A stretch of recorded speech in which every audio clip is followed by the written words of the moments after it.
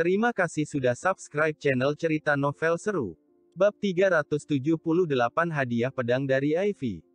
Jowin mengangguk dan berkata, Lia, dia bule, tapi dia juga seorang kultivator. Saat datang mencariku sebelumnya, dia terkena racun. Aku menyembuhkannya untuk waktu yang lama. Setelah dia sembuh, dia pun memberikanku barang ini. Kultivator bule. Elodie mengernyitkan alisnya dan merasa ada yang aneh. Kemudian, dia mengangguk dan berkata, apa nama gerejanya? Jowin tertegun sejenak, lalu berdeham. Dia menggaruk kepalanya dan berkata, aku sudah lupa. Elodie tidak bisa berkata-kata. Lupakan, aku akan coba mencarinya nanti. Elodie menggeleng dan berkata, apakah dia bisa dipercaya? Dia lumayan baik, tapi aku kurang yakin apakah dia bisa dipercaya. Aku hanyalah dokternya, jadi tidak tahu tentang kepribadiannya, ucap Jowin. Tidak semua orang yang sembuh akan merasa bersyukur. Manusia adalah makhluk hidup dengan emosi yang rumit. Oke, ucap Elodie seraya mengangguk. Tok, tok, tok. Pada saat ini, suara ketukan pintu terdengar. Masuklah, ucap Elodie. Pada saat yang sama, dia dan Jowin pun tidak lanjut berdiskusi lagi. Pelayan datang dengan mendorong sebuah troli makanan. Ada beberapa hidangan yang sangat enak, seperti steak. Elodie juga memesan sebotol anggur. Jowin belum pernah meminumnya. Lantaran penasaran, dia pun langsung menegak habis segelas anggur itu. Jowin merasa bahwa anggur itu cukup enak. Namun, selain itu, tidak ada yang istimewa. Melihat cara Jowin meminumnya, Elodie hanya sedikit tersenyum dan tidak terlalu peduli. Sementara itu, Elodie makan secara perlahan. Dia menyantap potongan kecil steak, lalu meminum sedikit anggur. Dia tidak memberi tahu Jowin bahwa apa yang pria itu lakukan barusan telah menghabiskan biaya puluhan juta. Sebotol anggur itu bernilai sekitar 600 juta. Jowin mengikuti apa yang dilakukan Elodie dan mulai menyantap makanannya. Elodie tetap saja bersikap dingin. Namun, keduanya pernah bertarung bersama sehingga tidak merasa terlalu canggung. Setelah menghabiskan makanan, Elodie pun membayarnya. Ketika Jowin tahu bahwa harga totalnya adalah 620 juta, dia hampir saja ingin memuntahkan apa yang baru saja dia santap. Apakah mereka barusan menyantap emas? Sebenarnya, botol anggur itulah yang mahal. Usai berjalan keluar dari restoran, Elodie menatap Jowin dan bertanya, apa kamu ingin ikut ke markas organisasi Night? Jowin menggeleng dan berkata, kamu duluan saja. Aku tidak ingin berurusan dengan hadiah dulu untuk sementara. Aku juga masih ada urusan lain. Elodie mengangguk, lalu berpamitan dengan Jowin dan bergegas menuju parkiran mobil. Jowin langsung menelepon Nina. Dia hendak mengajak Nina untuk pergi menjemput Ivy. Dia membuat janji dengan Nina untuk bertemu di kuil Cheng Huang. Setelah itu, Jowin pun memesan gokar. Dia menaiki mobil pesanannya dan bergegas menuju kuil Cheng Huang. Dia juga sedang memikirkan sesuatu dalam benaknya. Dengan pergi ke kota Sucheng, baik untuk melawan musuh Elodie ataupun menyerang organisasi Zero, Jowin tetap harus mencari cara untuk mencapai alam pil kondensasi. Hanya saja, entah apakah dia bisa menerobos ke alam pil kondensasi ketika pergi ke Gunung Suyun bersama Yohanes kali ini. Jowin hendak menguasai semua metode yang dimilikinya dalam dua hari ini. Pada saat yang sama, dia juga akan meminta Medelin untuk segera menyelesaikan urusan di kota Yanjing. Kemudian, dia akan langsung berangkat. Setelah merenung sejenak, Gokar pun sudah berhenti di kuil Cheng Huang. Jowin berdiri di depan kuil sebentar, lalu sebuah mobil mewah tampak berhenti di depan kuil Cheng Huang. Seorang wanita paruh baya cantik tampak keluar dari sana. Dia segera menghampiri Jowin begitu melihatnya. Nina tampak lesu. Sangat jelas, dia tidak bisa tidur nyenyak akhir-akhir ini. Bagaimanapun, putrinya tidak jelas apakah masih hidup atau tidak. Ayo. Jowin berkata, jangan khawatir. Aku sudah menerima kabar bahwa Ivy sangat aman sekarang. Dia hanya terlibat dalam beberapa perselisihan sebelumnya. Nina tampak mengangguk. Jowin yang tahu jalan pun pergi ke tempat di dekat pintu samping. Di depan pintu samping, ada dua biksu cilik yang berjaga di sana. Begitu melihat Jowin dan Nina, mereka sangat jelas tidak mengenal Jowin. Salah satu biksu cilik itu bersikap anjali dan berkata, Amitabha.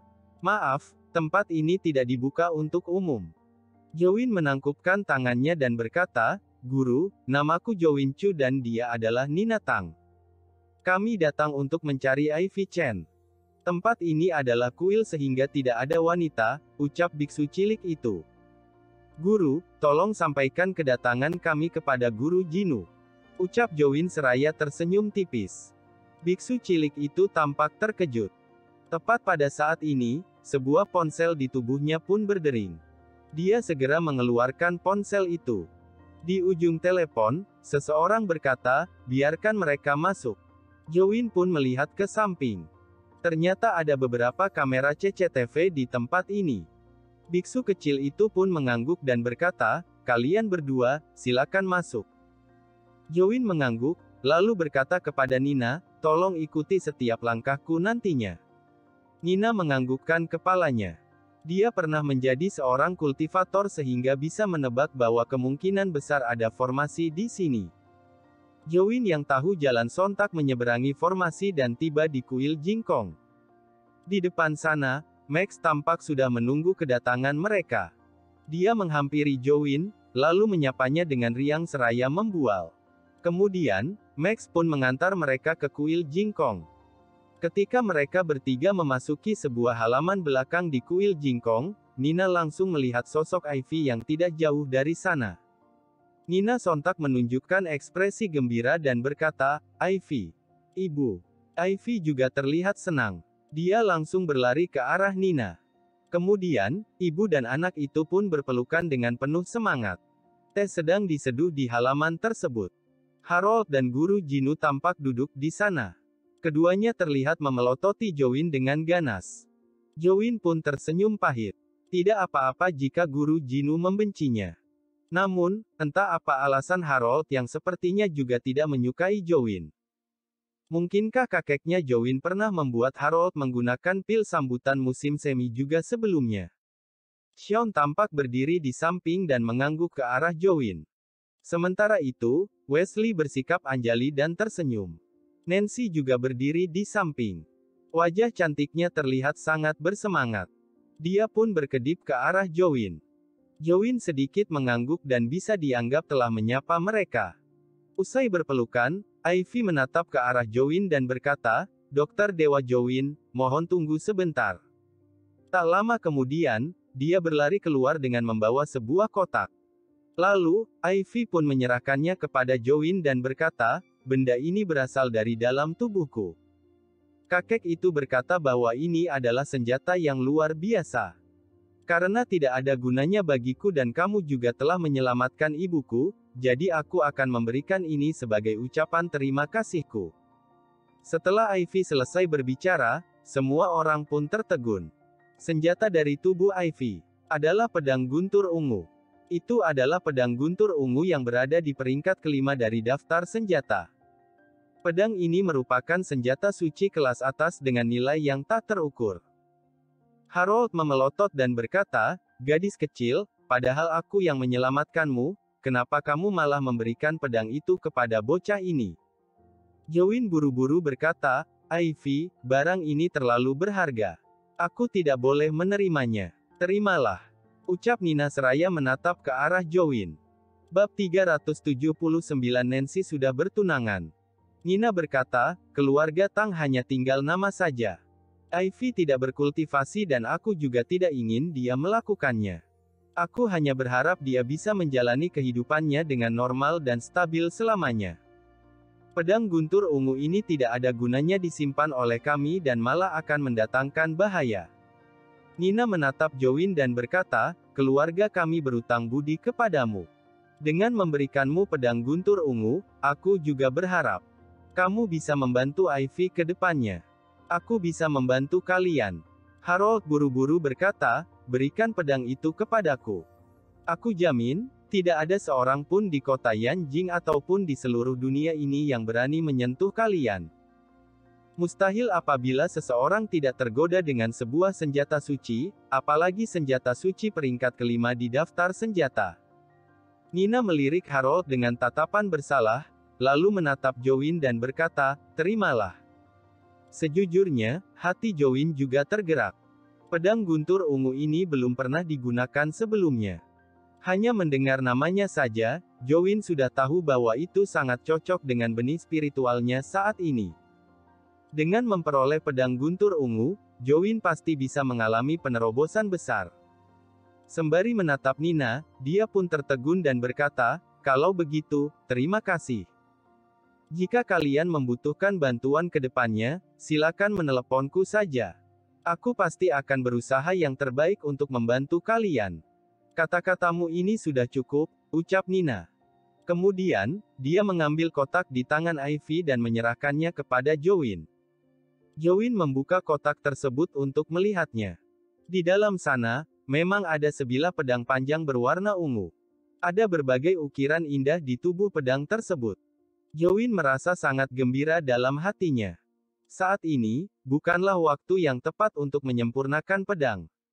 Dia menutup kotak tersebut, lalu sembari ditatap iri oleh Harold dan yang lainnya, Jowin pun menyimpan pedang panjang itu ke dalam cincin penyimpanannya. Bocah. Tepat pada saat ini, Harold berkata, karena kamu sudah mendapatkan pedang guntur ungu, kamu tentu sudah tidak membutuhkan jimat pemecah ruang yang dijanjikan kami sebelumnya, kan? Ini adalah dua hal yang berbeda. Jowin berkata, pedang ini diberikan oleh Tante Nina untukku. Kalau jimat pemecah ruang adalah apa yang kalian janjikan. Aku tidak boleh merusak reputasi organisasi Knight, jadi tetap harus mendapatkannya. Dasar bocah tidak tahu diri. Usai mengatakan itu, Harold tiba-tiba menghampiri Jowin, lalu meraihnya dan berkata, Ayo, ada yang ingin aku sampaikan kepadamu. Hah? Kakek. Nancy berteriak, apa yang ingin kamu lakukan pada Jowin? Harold menangkap Jowin, lalu sosoknya sontak membubung tinggi. Dia langsung terbang ke arah sebuah gazeba di puncak gunung. Kemudian, Harold menjatuhkan Jowin di sana. Dia mendarat di samping Jowin, lalu melirik pria itu dan berkata, kamu mengalami penerobosan lagi, ya. Jowin tidak tahu apa yang ingin Harold sampaikan dengan membawanya ke sini. Namun, dia bisa merasakan bahwa Harold tidak berniat jahat terhadapnya. Jowin mengangguk dengan jujur dan berkata, benar, ada sedikit penerobosan. Huff. Harold mengerucutkan bibirnya, lalu menatap Jowin dengan acuh tak acuh dan berkata, hari ini, aku mencarimu untuk membahas tentang cucuku. Nancy, tanya Jowin. Harold mengangguk dan berkata, Lia, kamu seharusnya tahu kalau cucuku naksir padamu. Jowin pun berdeham. Terakhir kali, setelah Jowin menyelamatkan Nancy, wanita itu bangun dan mengira bahwa dirinya sedang bermimpi. Dia langsung memeluk dan mencium Jowin. Pada saat itu, Jowin sudah mengetahuinya. Anggota keluarga Liu tidak pernah diperlakukan secara tidak adil. Harold berkata, Nancy adalah cucu kesayanganku. Dia sangat berbakat dalam mengolah jimat. Bakatnya dalam berkultivasi memang kurang bagus, tapi tidak separah itu. Kamu adalah seorang ahli pengolahan obat dan sudah mencapai alam jiwa suci di usia yang begitu muda. Kamu bahkan sudah menjadi ahli pengolahan obat kelas 3. Kemarin, aku melihat di dark web bahwa kamu berada di peringkat kelima dalam papan peringkat ahli pengolahan obat. Apa benar? Tanya Harold. Aku juga tidak yakin apakah itu adalah diriku, jawab Jowin seraya berdeham. Tidak penting. Intinya, ahli pengolahan obat kelas 3, ditambah dengan aksimu dalam pertarungan kali ini, kamu memang layak untuk cucuku, ucap Harold. Jowin tampak mengernyit. Tapi, tepat pada saat ini, Harold berkata, aku tetap berharap kamu bisa menjauhi cucuku. Pertama, kamu sudah menikah. Harold berkata, tentu saja, tidak ada aturan duniawi bagi para kultivator yang berumur panjang. Tidak masalah kalau kamu ingin menikah dengan banyak wanita. Tapi, aku tidak akan membiarkan cucuku diperlakukan secara tidak adil seperti itu. Kedua, Harold berkata, Nancy sudah bertunangan. Apalagi, kontrak pernikahannya sangat penting bagi keluarga Liu dan bahkan seluruh organisasi Knight. Jowin bertanya dengan sedikit terkejut, Nancy sudah bertunangan. Tentu saja. Harold berkata, aku hanya akan memberitahumu tentang ini. Aku harap, kamu bisa menjaga jarak dari Nancy. Sosok Nancy pun muncul di benak Jowin. Kemudian, dia mengangguk dan berkata, baik, aku mengerti. Setelah mendengar perkataan Jowin, Harold baru mengangguk dan berkata, kamu bisa langsung turun gunung. Kedua wanita itu akan diantar oleh Jinu nantinya. Jelas, Harold tidak ingin membiarkan Jowin bertemu dengan Nancy lagi. Jowin pun tersenyum pahit dalam hatinya. Dia memiliki kesan yang sangat baik terhadap Nancy dan selalu menganggap wanita itu sebagai teman baiknya. Itu sebabnya. Jowin agak keberatan untuk putus kontak dengan wanita itu. Namun, karena Harold sangat keberatan, Jowin hanya bisa mengangguk dan berkata, kalau begitu, senior, tolong sampaikan salam perpisahanku untuk Nancy. Baiklah. Hari ini, kami akan meninggalkan kota Yanjing. Ucap Harold. Oke. Jowin tersenyum pahit dan berkata, Tolong sampaikan kepadanya bahwa aku akan mentraktirnya makan ketika bertemu lagi lain kali. Iya, baiklah. Ucap Harold. Jowin menangkupkan tangannya, lalu bergegas turun gunung. Melihat kepergian Jowin, Harold pun menghela napas dan berkata, bakat dan kemampuan yang luar biasa. Dia bahkan seorang ahli pengolahan obat kelas 3. Kalau Nancy menikah dengannya, itu juga bukan hal yang buruk. Tapi, sayangnya, usai mengatakan itu, Harold pun menggeleng. Jowin telah tiba di bawah. Benar saja, Ivy dan Nina sudah menunggunya di kaki gunung. Jowin pun mengajak kedua wanita itu pergi dari kuil, lalu berpisah di depan kuil. Setelah berpikir sejenak, Jowin merasa bahwa Harold mungkin tidak akan menyampaikan pesannya kepada Nancy secara jelas. Rasanya kurang sopan bagi Jowin untuk tidak berpamitan. Itu sebabnya, dia pun mengirim pesan kepada Nancy dan menjelaskan situasinya secara singkat. Jowin juga memberi tahu akan mentraktirnya akan ketika bertemu lagi lain kali. Namun, Nancy malah tidak membalasnya. Kemungkinan, ponsel wanita itu lagi-lagi disita. Jowin tidak berpikir terlalu banyak. Dia menelepon Madeline dan menanyakan lokasi keberadaannya sekarang. Setelah mengetahui bahwa Madeline ikut dengan Colton kembali ke rumah leluhur keluarga Su, Jowin pun merenung dan memutuskan untuk tidak pulang dahulu. Dia memesan gokar, lalu bergegas menuju The Haven. Bab 385 hari. Malam harinya, ketika Madeline pulang ke rumah, Jowin pun bertanya kepadanya. Begitu Colton kembali ke rumah keluarga Su, dia langsung murka. Colton juga memaki Budi dan Morgan, lalu sepenuhnya mendukung ayahnya Madeline, Kamal. Kemudian, dia memberi tahu dengan sikap mendominasi bahwa Jenny sudah membuang terlalu banyak waktu dengan berada di sisi Budi. Colton mengaku telah mengatur Jenny ke sebuah tempat rahasia untuk belajar dan berkultivasi. Budi yang dimaki habis-habisan dan juga putrinya yang diusir oleh Colton ke sebuah tempat karena alasan tersebut sama sekali tidak berani mengatakan apa pun. Sementara itu, Budi dan Morgan juga sontak dipaksa mundur dari manajemen inti perusahaan. Saham keluarga Su yang mereka miliki juga berkurang drastis dan hanya menyisakan beberapa saham biasa. Tentu saja, Madeline juga kembali ke keluarga Su karena menghargai Colton. Namun, dia tidak bekerja di perusahaan keluarga Su dan hanya memiliki beberapa saham biasa.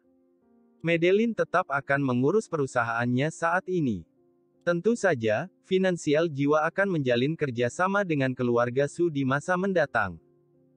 Selain itu, pusat dari finansial jiwa juga berubah dari yang awalnya berada di kota Donghai, yakni di wilayah timur, kini akan merambat ke seluruh negeri. Ini adalah rencana yang telah disusun oleh Madeline sejak awal.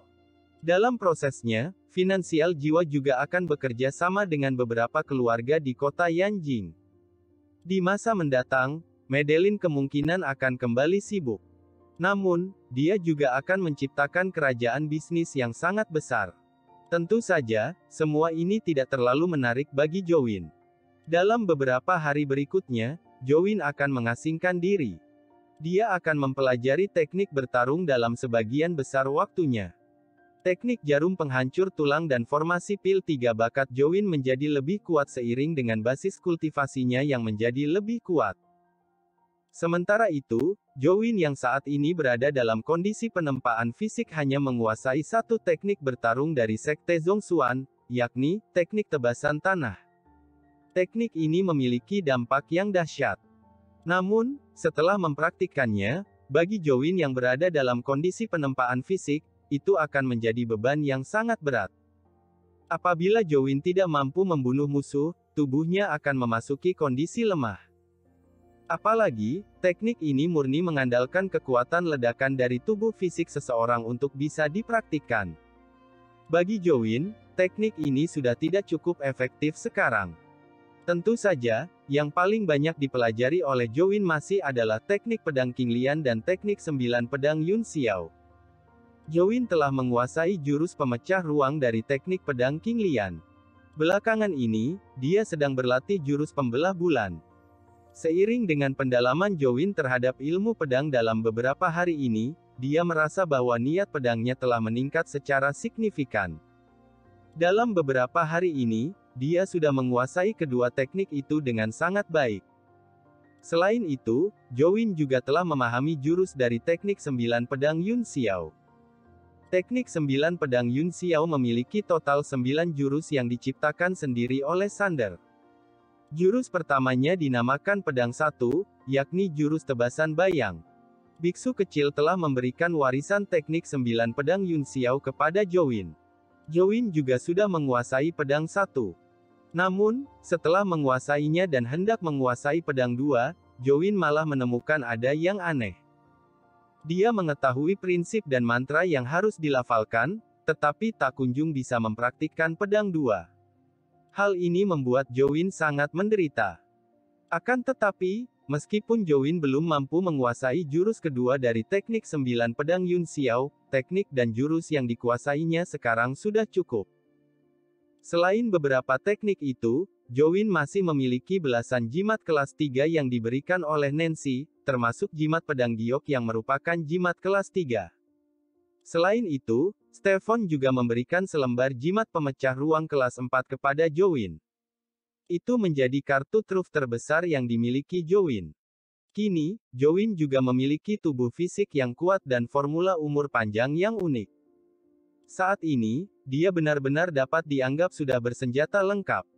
Setelah mengalami beberapa pertarungan hidup dan mati, pengalaman bertarung Jowin juga telah meningkat pesat. Saat ini, Jowin memiliki kepercayaan diri yang tinggi. Dia sama sekali tidak takut dengan lawan yang berada di bawah alam pil kondensasi. Tentu saja, dalam lima hari ini, Jowin juga telah memurnikan pil obat. Dia memurnikan sejumlah pil perpanjangan hidup untuk Yohanes. Seiring dengan basis kultivasinya yang mengalami peningkatan, kontrol Jowin atas pil obat kelas 3 juga makin kuat. Jowin mampu mengerahkan khasiat dari pil obat tersebut hingga sekitar 70% atau 80%. Apabila memintanya untuk memurnikan pil pemeliharaan jiwa, Jowin kira-kira mampu memurnikan sekitar 7 atau 8 butir dalam satu kali pemurnian. Kapasitas produksi semacam ini tidak bisa dibandingkan dengan yang lain. Jowin juga memurnikan dua tungku pil peningkatan energi dan mengirimkannya kepada Kenzo. Selama ini, seiring dengan Kenzo yang menjual banyak pil peningkatan energi, harga dari pil ini telah menurun drastis, dari yang awalnya sangat tinggi. Lantaran Kenzo melakukan penurunan harga untuk pertama kalinya, Hal itu menyebabkan toko lain di dark web terpaksa mengikuti harganya karena penjualan mereka mengalami penurunan. Kemudian, Kenzo lagi-lagi menurunkan harga. Kini, harganya sudah hampir setengahnya, yaitu sekitar 1 triliun atau 1 triliun 200 miliar per butirnya. Tentunya, sebagai pil paling dasar untuk melangkah ke dunia kultivasi, permintaan pil peningkatan energi tetap sangat tinggi. Jowin dan Medelin telah membahas masalah ini sebelumnya. Penentuan harga pil peningkatan energi terlalu keterlaluan. Seiring dengan makin meningkatnya kapasitas produksi Jowin, harganya diperkirakan akan terus turun pada akhirnya. Perubahan yang terjadi dalam lima hari ini tentu sangat besar. Pertama, hampir seluruh properti milik keluarga Y telah dijual. Dalam lima hari ini, semua orang langsung menyerbunya hingga tak bersisa. Kebanyakan orang tentu memilih untuk mengakuisisi, lalu mengganti beberapa karyawan yang menjabat di posisi penting. Seperti halnya Medelin yang melakukan hal tersebut. Kedua, satu hal yang juga menarik perhatian banyak orang yaitu Jerry yang diusir dari keluarga Zhang. Sebagai salah satu dari lima tuan muda jahat di kota Yanjing, Jerry telah menyinggung banyak pihak. Dalam waktu lima hari ini, dia telah ditangkap oleh orang lain dan dihajar beberapa kali. Pada akhirnya, dia pun memilih untuk meninggalkan kota Yanjing. Selain itu, banyak juga yang berdiskusi tentang langit yang memerah di hari itu, juga penutupan jalan Pamu, dengan sejumlah besar bangunan yang dihancurkan setelahnya. Kini, rekonstruksi sedang berlangsung. Tentu saja, semua ini tidak ada hubungannya dengan Jowin. Dia menghabiskan sebagian besar waktunya untuk mempelajari teknik bertarung, lalu pergi ke klinik untuk menyembuhkan pasien di waktu senggangnya. Pagi ini, Madeline sudah berangkat pagi-pagi sekali. Hari ini, Berdi dan Leni telah tiba di kota Yanjing. Medelin berencana untuk menyerahkan urusan perusahaan kepada Berdi. Kemudian, dia akan berangkat ke kota Sucheng bersama Jowin. Sementara itu, Jowin tidak memiliki banyak urusan sehingga dia pun pergi ke klinik yang berada di desa Lin. Setibanya di desa Lin, Jowin langsung bergegas menuju klinik. Kebanyakan orang di tempat ini masih terlihat tergesa-gesa dan mengernyitkan alis. Hanya saja, mereka terlihat sedikit lebih baik. Tanpa campur tangan kultivator iblis, mereka tetap harus bekerja keras untuk bertahan hidup. Mereka adalah masyarakat berstatus paling rendah, dan juga orang yang paling pekerja keras. Jowin berjalan di antara mereka dan merasakan sesuatu dalam hatinya. Dia telah menyelamatkan nyawa mereka, tetapi malah tidak mampu mengubah takdir mereka. Jowin datang ke klinik dan membukanya, lalu duduk di dalam. Tidak lama setelah dia duduk, sebuah mobil sport tampak. Berhenti di depan pintu. Yohanes berlari turun dan berkata, Aku pergi ke rumahmu dan menekan bel cukup lama, tapi ternyata tidak ada orang. Sudah kuduga kamu pasti akan datang ke sini. Yohanes masih bergaya rambut cepak dan berpakaian putih. Dia terlihat sangat tampan. Kenapa kamu tidak langsung meneleponku saja? Jowin menatapnya dengan terkejut, lalu berkata, ada apa? Aku sudah menyelesaikan urusanku di kota Yanjing. Aku juga menghubungi dua orang lainnya, tapi mereka tak bisa dihubungi, jadi biarkan saja. Aku berencana untuk berangkat ke Gunung Suyun besok, ucap Yohanes.